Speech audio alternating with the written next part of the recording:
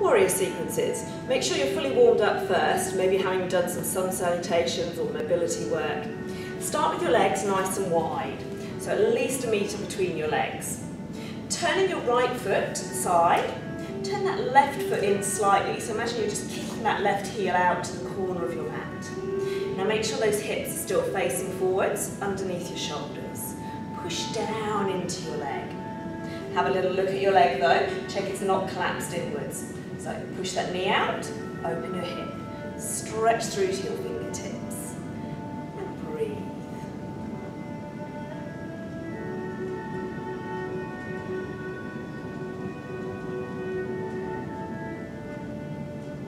So moving on from our warrior two, sun warrior, we're going to look towards that right hand, palm up, lifting your arm, let that back hand just rest on your leg.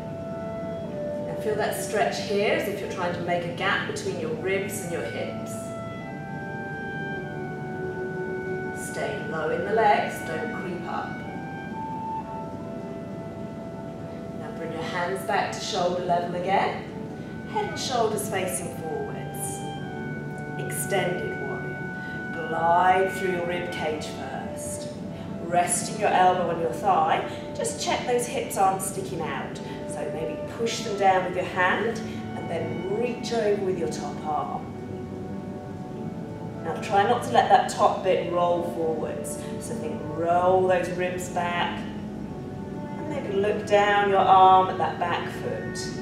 If you're ready to, you can come a little lower, hand to floor.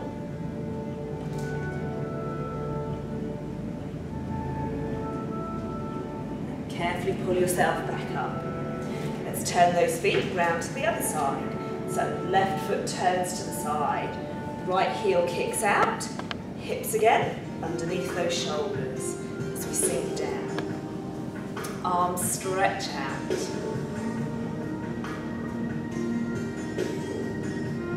Look to your palm and lift that palm up. Hands back to shoulder level. Let's extend through the rib cage first. Elbow to thigh, pushing those hips down as you reach your arm over. Again, if you're able to come a little lower, hand can come to floor. And make sure you're not rolling forwards. Open that chest and shoulder.